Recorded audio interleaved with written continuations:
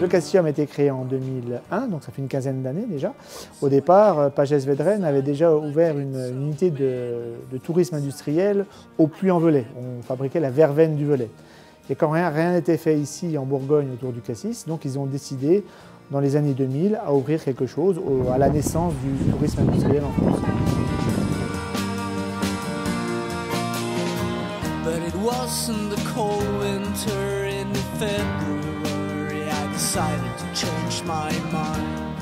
Le Cassisium, euh, il y a à peu près 1h45 de visite, il y a quatre étapes.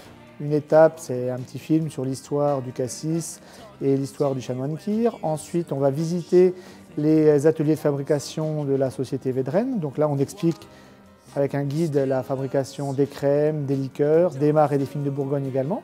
On revient au Cassisium et au Cassisium, il y a une partie euh, muséographique qui euh, est dédiée au cassis. Donc on parle du cassis dans tous ses états, euh, de la récolte, des maladies, de l'utilisation du cassis en pharmacie, en cosmétologie, en médecine, etc.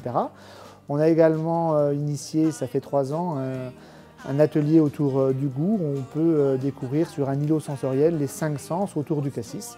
Et la quatrième étape, il ne faut pas l'oublier, on termine bien sûr par une dégustation de crème, de cassis, de blanc cassis et de divers produits de la maison Vedren, des liqueurs. Il y a également une cinquantaine de parfums de sirop pour les enfants.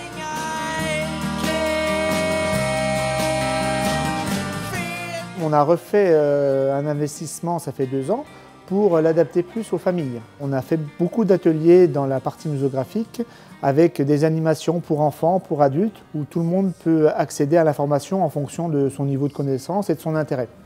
Au bar, euh, quand les parents dégustent les crèmes et liqueurs, les enfants peuvent avoir un accès directement au sirop. Donc ils servent eux-mêmes et peuvent déguster tous les sirops de, de la maison.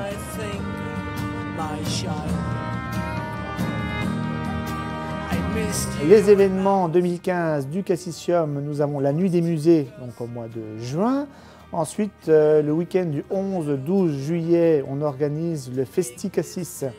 Ce sera, ça sera à l'intérieur du Cassisium. C'est un événement avec différents producteurs de cassis et euh, différents euh, faiseurs de, cassis. Par exemple, on a plusieurs centres de soins esthétiques qui utilisent le cassis dans leur massage. Et puis ça s'appelle la frutithérapie et la cassisothérapie. Donc ils viendront le 11 et 12 juillet pour euh, expliquer leur, leur, métier et puis leurs leur, leur produits.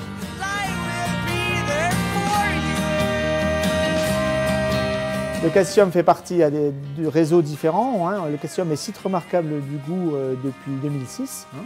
Et on est également euh, accessible aux personnes handicapées. On a le label Tourisme Handicap depuis 2005.